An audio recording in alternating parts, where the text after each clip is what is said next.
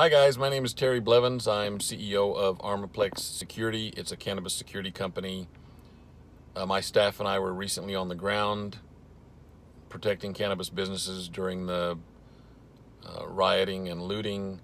Since then, I've spent quite a bit of time talking to operators, not just my clients, but others as well, uh, trying to find out exactly what happened, the methods that were used, why it happened, and trying to develop some uh, methods to be able to mitigate this in the future if it happens. Probably going to happen again, especially in certain urban areas. I wrote an article about this. I'm doing it as much for my own clients as I am for anybody. I've tried to help, you know, disadvantaged cannabis businesses and equity and, uh, you know, just the industry in general. I advocate for, for the industry. Uh, I realized after I left law enforcement uh, about 11 years ago that our position on marijuana was wrong. I had previously been brainwashed. I drank the Kool Aid. I allowed myself to be brainwashed. I was part of that system, even if I wasn't a drug cop.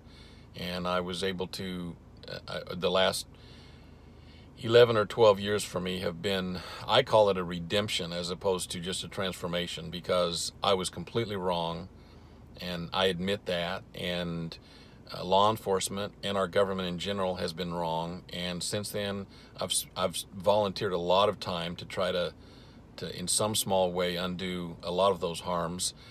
I became a member of a group called LEAP, Law Enforcement Action Partnership, and initially, I wasn't in agreement with all of their positions on on drugs legalization of drugs and that sort of thing, but they educated me, and over the years, I've had a complete transformation.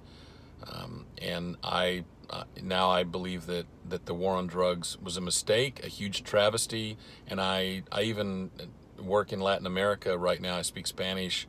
and I work in Latin America in the same places that I work to train police officers to fight the war on drugs.